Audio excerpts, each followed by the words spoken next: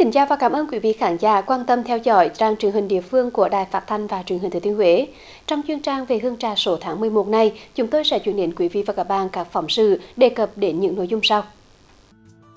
Bên cạnh huy động các nguồn lực hỗ trợ khẩn cấp, các cấp chính quyền ở thị xã Hương Trà cũng đang chú trọng đến việc hỗ trợ người dân bị thiệt hại do thiên tai khôi phục sản xuất, ổn định cuộc sống. Góp phần vào những khởi sắc trong đời sống kinh tế xã hội ở các địa phương trên địa bàn thị xã Hương Trà, thời gian qua có sự đóng góp tích cực từ cuộc vận động toàn dân đoàn kết xây dựng nông thôn mới đô thị văn minh.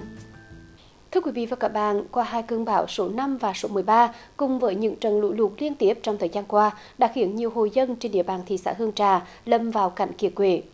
Cùng với huy động nhiều nguồn lực hỗ trợ khẩn cấp, hiện nay việc khôi phục sản xuất, ổn định đời sống cho người dân được xác định là nhiệm vụ trọng tâm được cấp ủy chính quyền cả cấp ở Hương Trà đang nỗ lực thực hiện nhằm sớm tạo sinh kế cho người dân. Hai cơn bão số 5, bão số 13 và liên tiếp những trận lũ lụt kéo dài trong thời gian qua đã để lại hậu quả vô cùng nặng nề cho người dân phường Hương Vân, thị xã Hương Trà. Nhiều diện tích trồng cây đặc sản thanh trà sắp tới kỳ cho trái. Những vườn chuối năng triệu buồn, vốn là nguồn thu nhập chính hàng ngày của người dân, cũng đã bị bão cuộc ngã.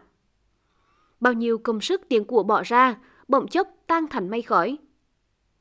Việc khôi phục sản xuất, ổn định sinh kế của người dân nơi đây đang gặp rất nhiều khó khăn. Gia đình chúng tôi là có ba sao thanh trà, gần một năm nữa là thu hoạch bây giờ chứ là do thời tiết thiên tai chết hết rồi gia đình à, mong muốn để à, sau này các cấp chính quyền à, để ờ, hỗ trợ lại cái giống cho bà con thậm chúng là như gia đình chúng tôi để tái sản xuất. Thấu hiểu và sẻ chia những thiệt hại của người dân vùng lũ. Thời gian qua nhiều tổ chức cá nhân doanh nghiệp nhà hảo tâm cùng đồng hành với chính quyền cả cấp đã có nhiều hoạt động thiện nguyện với tinh thần nhường cơm sẻ áo là lành đùm lá rách. Bên cạnh hỗ trợ những nhu yếu phẩm cần thiết, việc hỗ trợ lúa giống, gà giống để đảm bảo người dân sớm khôi phục sản xuất, sinh kế, nhất là vụ đông xuân 2020-2021 đang cần kề. Thì hôm nay thì à, câu lạc bộ sữa Huế à, tổ chức hỗ trợ cho bà con à, 10.000 con gà giống. À, trước khi tiến hành tổ chức thì chúng tôi trao tặng thì chúng tôi cũng đã tiến hành đi khảo sát tiền trạm, à, nghiên cứu điều kiện thổ nhưỡng cũng như những cái điều kiện cơ sở vật chất chăn nuôi của bà con thì hôm nay chúng tôi tặng mỗi hộ 100 con gà kèm theo vaccine, dây điện và hướng dẫn kỹ thuật chăm sóc cũng như là hướng dẫn kỹ thuật ủng gà. À, sau một thời gian nữa thì chúng tôi cũng sẽ tiến hành liên hệ lại với bà con để xem trong quá trình chăn nuôi bà con có những có khó khăn gì thì chúng tôi cũng sẽ có những cái biện pháp để hỗ trợ kịp thời. Đối với Phương Vân là một đơn vị thiệt hại rất nặng nề. Thì để khắc phục những cái hậu quả lũ lụt thì à, các đoàn từ thiện đã về địa phương hỗ trợ cho bà con những cái nhu yếu phẩm để ổn định được cuộc sống đặc biệt trong đó là có cái câu lạc bộ xe Huế đã hỗ trợ cho bà con Phương Vân là 10.000 cây gà giống đây là một làm việc làm hết sức ý nghĩa ờ, khắc phục ờ, thì kinh tế. Trong thời gian tới thì, thì tôi cũng mong muốn rằng là những nhà hào nhiều những nhà hào tâm quan tâm hơn đối với Phương Vân nhất là hỗ trợ về cây và con giống. Đối với Phương Vân thì trong thời gian vừa qua thì chúng tôi cũng đã à, chỉ đạo các tổ dân phố thống kê các cái thiệt hại à, để đề nghị cấp trên hỗ trợ về cây và con giống nhất là cây chuối bởi vì đây là một cây uh, ờ, nhánh cho thu nhập và bà con là sẽ có nhánh có cái, cái kinh tế để khắc phục cái cuộc sống. Trong thời gian lâu dài thì chúng tôi cũng đề, ờ, cũng đề nghị về ờ, cấp trên là hỗ trợ cho chúng tôi khoảng 24.000 cây giống cây thanh trà. Bởi vì đây là một cây làm giàu của địa phương. Cùng với sự chung tay của những tấm lòng thiện nguyện, Đảng bộ chính quyền các cấp ở thị xã Hương Trà thời gian qua, bên cạnh tập trung huy động nguồn lực, cũng tổ chức tốt việc cứu trợ cho nhân dân, nhất là các đối tượng yếu thế trong xã hội dễ bị tổn thương do thiên tai. Chỉ đạo các phòng ban liên quan của thị xã phối hợp với Ủy ban nhân dân các xã phường tiến hành ra soát, thống kê thiệt hại, khảo sát nguồn giống phục vụ sản xuất vụ đông xuân để có phương án hỗ trợ kịp thời, đồng thời tiến hành phân bổ 82.000 kg giống lúa và 54 kg giống rau từ nguồn hỗ trợ của Trung ương, của tỉnh cho người dân phát triển sản xuất, tạo thu nhập và ổn định cuộc sống. Về phía Ủy ban nhân thị xã thì chúng tôi cũng đã họp với lãnh đạo à, Ủy ban nhân các phường xã và các là phòng ban liên quan để tổ chức ra soát khôi phục lại tất cả các cơ sở hạ tầng thiết yếu phục vụ cho vụ sản xuất à, đông xuân và phục vụ cho cả cái vùng mà sản xuất hoa màu phân bổ kịp thời cái nguồn hỗ trợ của trung ương và của tỉnh là phân bổ cho thị xã về các xã phường để cho bà con có giống cây trồng vật nuôi À, chúng tôi đã à, tổng hợp cái nhu cầu của các phường xã của bà con nông dân ấy, để báo cáo cho Sở Nông nghiệp Phát triển nông thôn, báo cáo cho Ủy ban nhân tỉnh để tiếp tục xin để hỗ trợ để à, cho bà con nhân dân trên à, địa bàn thị xã có đủ cái nguồn giống về cây trồng vật nuôi để mà sớm phục hồi lại cái sản xuất dân sinh. Cùng với sự vào cuộc một cách tích cực của cả hệ thống chính trị từ thị xã đến các xã phường, sự chung tay hỗ trợ từ các tổ chức cá nhân thiện nguyện,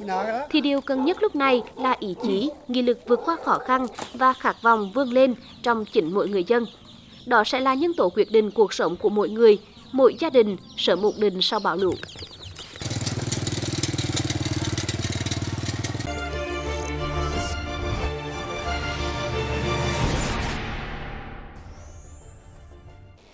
Vị và các bạn, toàn dân đoàn kết xây dựng nông thôn mới đô thị văn minh là một cuộc vận động lớn mang tính toàn dân và toàn diện, thể hiện sinh động vai trò và dấu ấn của mặt trận các cấp và các tổ chức chính trị xã hội.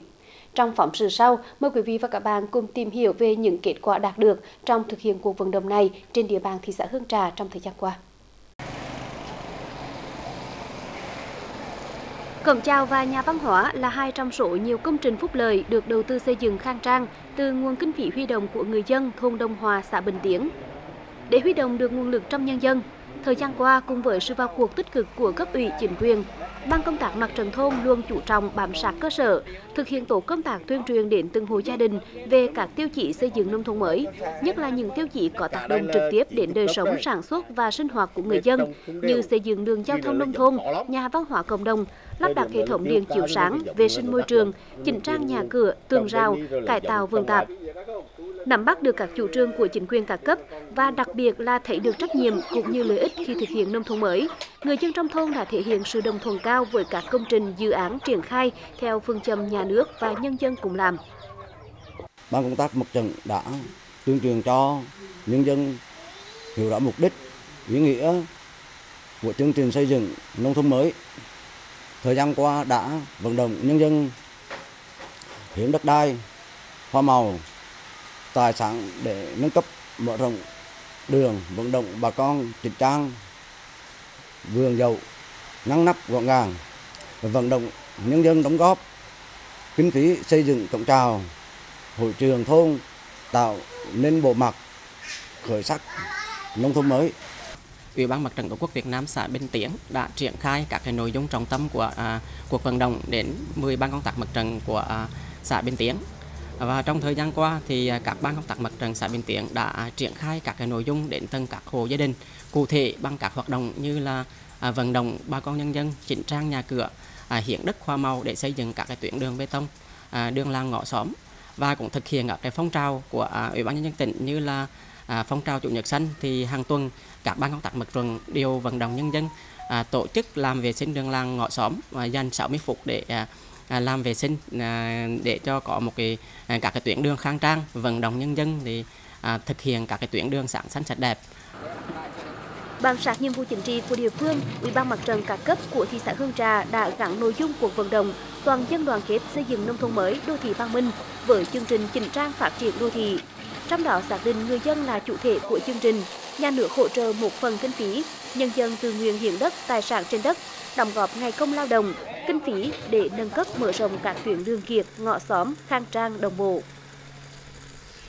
đồng thời huy động nguồn lực lắp đặt thêm hệ thống điện chiếu sáng công cộng, không chỉ tạo điều kiện thuận lợi an toàn giao thông mà còn làm cho diện mạo đô thị tại các phường ngày càng khởi sắc văn minh.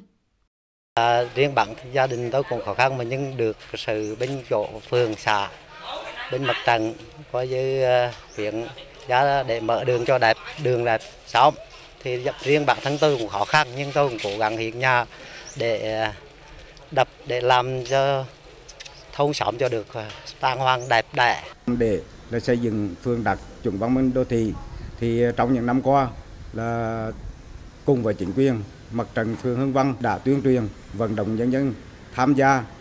bằng nhiều ờ, hiện vật, ngày công và để xây dựng là các tuyến phố, là đạt chuẩn văn minh thì về điện chiếu sáng là nhân dân đã đóng góp là hơn là 20 km thì hiện nay là điện chiếu sáng ở trên địa bàn hầu như là để phủ khắp. Trong những năm qua, với nhiều cách làm hay, sáng tạo, cuộc vận động toàn dân đoàn kết xây dựng nông thôn mới đô thị văn minh ở Hương Trà đã và đang từng bước đi vào chiều sâu, sát thực, phù hợp với thực tế của từng địa phương và được đông đảo các tầng lớp nhân dân đồng tình hưởng ứng.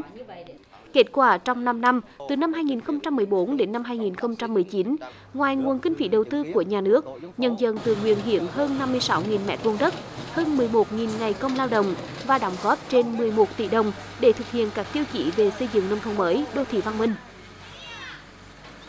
Hỗ trợ giúp đỡ hộ nghèo xây dựng mới, sửa chữa nhà tình thương, nhà đại đoàn kết, cho hộ nghèo mượn vốn sản xuất, kinh doanh và nhiều hoạt động khác đã góp phần nâng cao đời sống vật chất, tinh thần cho người dân và đẩy nhanh tiến độ hoàn thành chương trình xây dựng nông thôn mới.